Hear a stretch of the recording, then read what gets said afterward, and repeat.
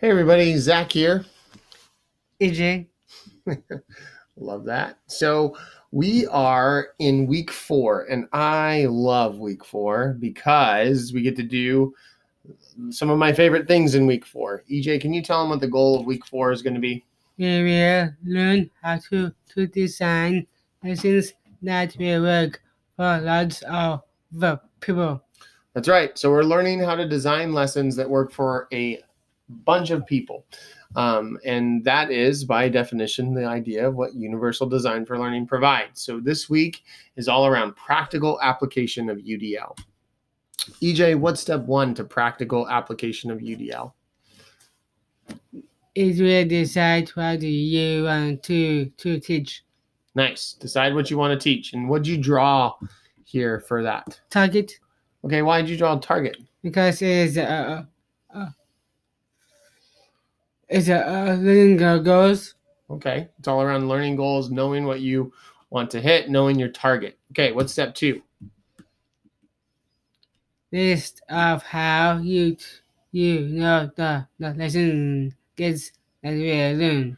Okay, so create your list um, or create your series of non negotiables or whatever it is that will indicate to you that the lesson's gotten learned. I love this picture, EJ. Can you tell us about it? Teacher will will teach the the uh, uh, students to learn about uh, again knowledge of a list. Okay, so there's a list there that cues the teacher. Okay, the the students are hitting what they're they're showing me what I need they need to show me in order for me to know that they're learning it. You did something really cool in that you drew a picture or an arrow to this for so that the student knows this and the teacher and both have a pencil so they both can assess it. I thought that was a really cool drawing that you did. Mhm. Nice job.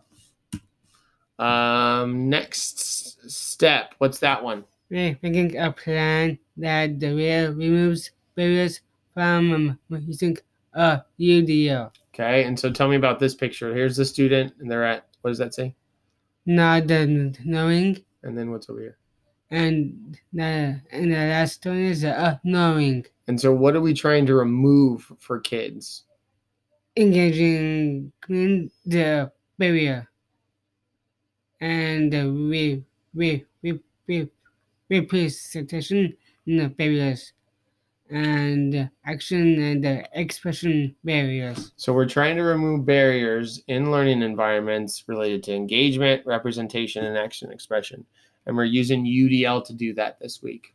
Got it? yes Boom. It's going to be a great week. Can't wait.